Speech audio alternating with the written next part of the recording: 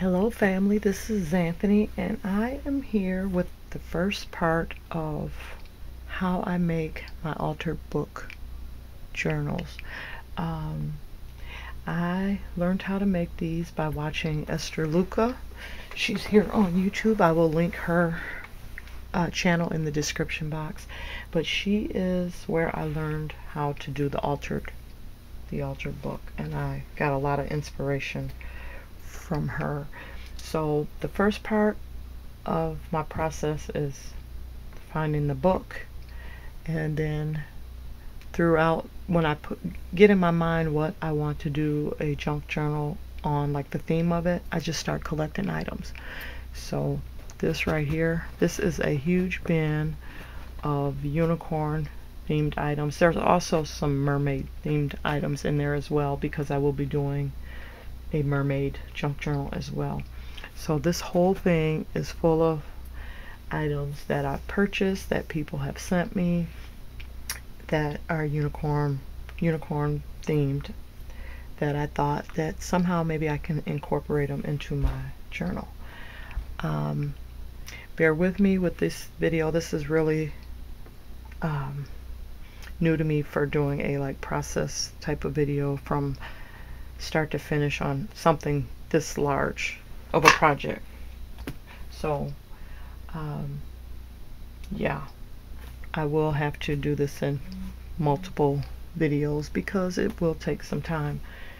Um, this unicorn book here, I hauled this, it was from Five Below for $5. This is The Wisdom of Unicorns. There's some different things in there that I want to use. Now, when I look at the items that I have, some look child more childish than the others, so I may do two different journals, one that looks more kiddish and one that looks a little bit more mature, if you know what I mean, um, depending on what I have to work with. So first I select my book, which this one I thought was nice. I like the colors of it, which I will be, you know, adding paper or fabric to the cover. But this is the thickness of it, so I do have a lot of pages to tear out of it. Um, I did get this book from the Dollar Tree, which the Dollar Tree is a good place to purchase books if you're going to alter them. I mean, you're paying a dollar for them. Another good place is the library. They, my library, my local library sells books all the time. They have a little rack out. I mean, 50 cents. And they just this past weekend had a large book sale. So, I mean, you can find books really cheap, you know, since you're going to, you know, tear them up and alter them anyway. Um, you don't want to spend a whole lot of money on the books. Uh, what else? You can find them at garage sales, which I have purchased some at garage sales. My favorite books to look for at garage sales are the little golden books. So I did find some not too long ago from from the garage sale. So anyway, I find my book and then I get it all prepped, which I'll show you how I do that. Um, and then I look for the paper that I want to put on my pages. So I will be using this paper pad. It's a hot buy paper pad from Michaels and it's the Stay Magical. So whatever theme you're planning on uh, making your journal, you find paper to coordinate. So this one has unicorn and mermaid theme in here. Uh, I don't think I'm going to have enough paper that's just unicorn to use from out of here. So I will have to look for other paper. Uh, I'll have to go through my loose papers and find, even if I just use some solids, solid cardstock, because, um, yeah, this is just not going to be enough. I already know it because it ends up, I mean, I cover front and back of the pages. And you do need cardstock, not the thin paper, because you want your pages to be sturdy. I mean, you can decorate with paper, but I think the uh, cardstock works better when you're putting them on your pages. So that's what I do first. The book and then the paper is I get that all picked out. You know, I've already started cutting out some uh, ephemera, making my own ephemera out of some of the images that are on, you know, throughout the paper pad. So I have this envelope here with mermaid and unicorn ephemera and die cuts. so yeah, I'll show you really quick some of the items that I have in this bin before we start uh, taking the book apart. So I got these napkins and these little plates here from Dollar Tree. The mermaid stuff I'll just set aside, but I had these sticker books. There's this unicorn sticker book that I had got from, excuse me, Joann's. Some more of those plates. I went through my washi and put all of my unicorn and mermaid theme washi tape in here. So I will show you what I do use the washi for other than just decorating. Then I have these Buy tags from Michaels. And I picked these up because I am working on a fairy journal. And I will be making a mermaid journal as well as this unicorn journal. So it has all three of those um,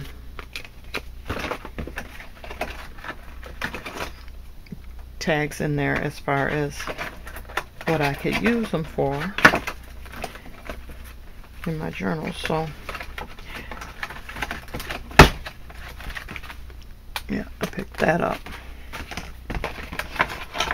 And these are those nice thick sturdy tags. But I do make my own tags as well to include. I try to use up some of the uh, book paper that I tear out for embellishments and things.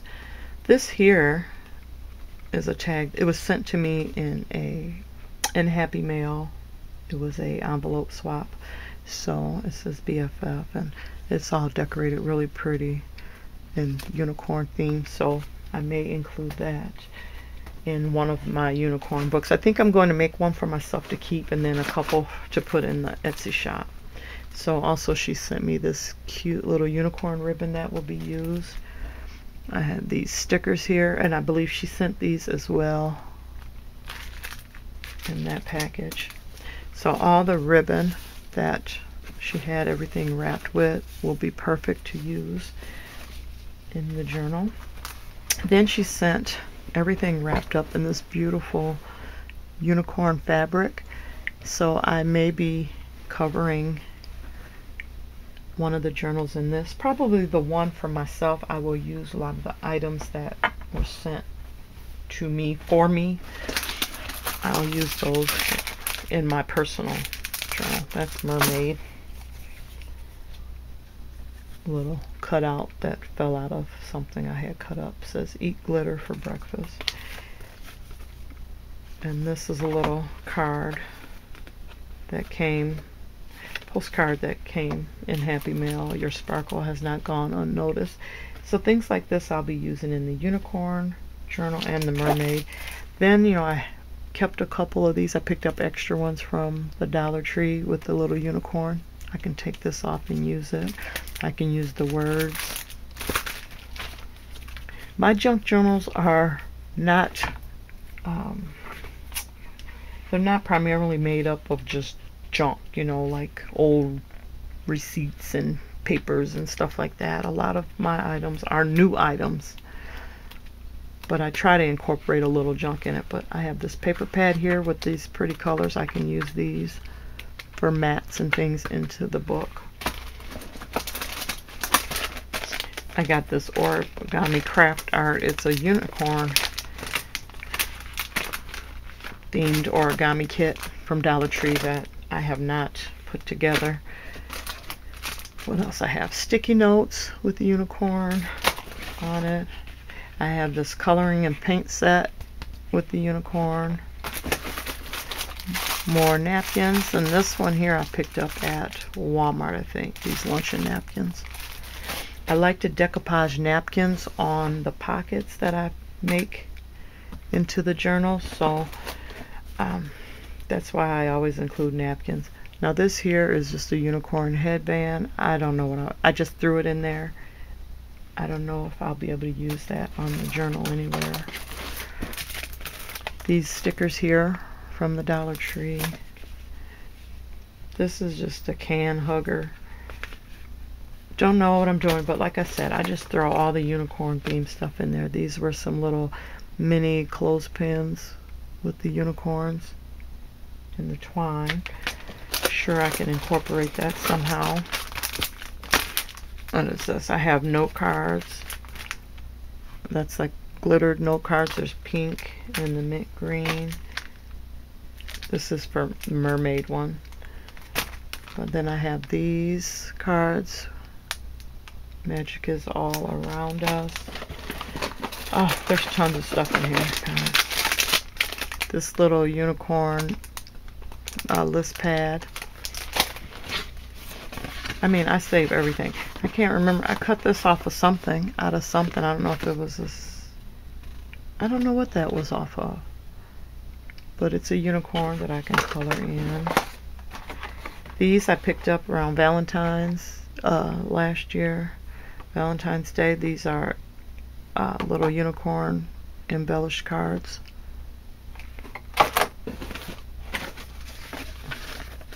some other little things that people sent me. Now this I think I cut out of a cereal box. Off of those, yes, those uh, unicorn cereal. See? And I saved that. And this is What's Your Unicorn's Name? It's just a little thing that I cut off the side of the cereal box. I just was saving everything that I can find. This, I thought that was pretty to include in the journal. It has those colors. Um, this little little box I got in Happy Mail. It's a little Valentine's box. More unicorn stickers. I have tons of stickers.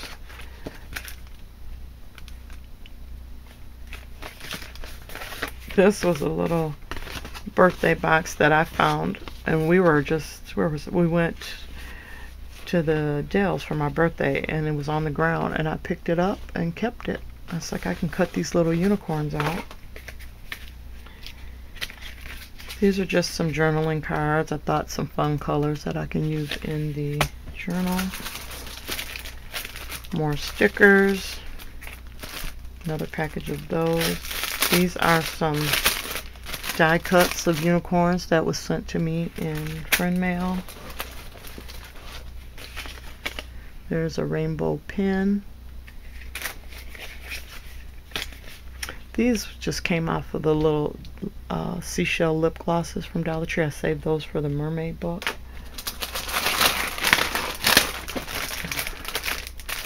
That's my mermaid stamp. This is a list pad with the unicorn down there in the corner. There's the mermaid one. Wow, I didn't realize I had this much stuff.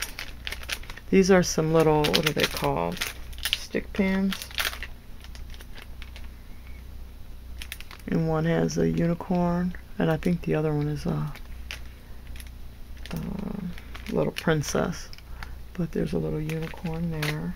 Some more stickers. I know this is taking up a lot of time just to show you the uh, items I've collected. But I will get this done. I want you to have some ideas of things to look for when you're planning to make a junk journal. So tons of stickers. There's another card. Look at those pretty stickers. I got those from Hobby Lobby, the pastel colors. So I'm thinking of making one with the pastel colors for um, a more of grown-up looking journal. And then like the bright, bright colors. One, you know, that's a little more childish. But these are the wall stickers from Dollar Tree. This will look great on a cover.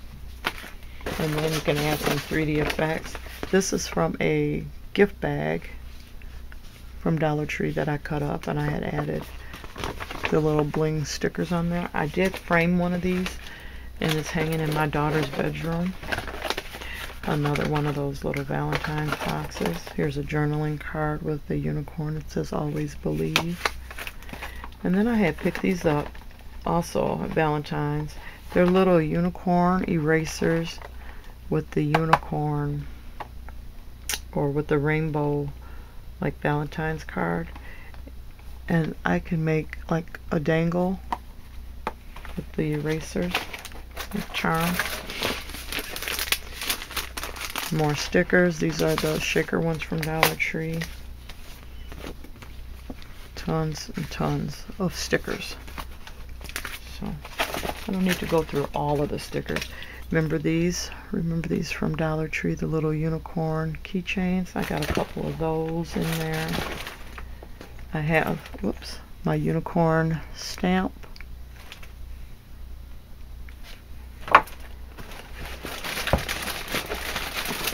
Oh, I have tons. That's a mermaid stamp.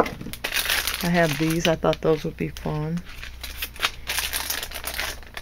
There's another unicorn stamp.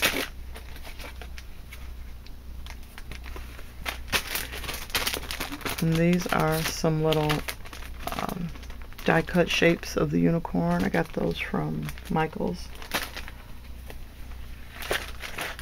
More stamps. More little foam unicorn die cuts or stickers. I have unicorn straws. The unicorn magnet. A couple of those yeah, just, and there's some more little die cut items down in there. So all of that are items that I have to play with in this journal.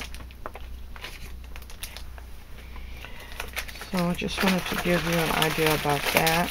I'll be right back with um, with the book.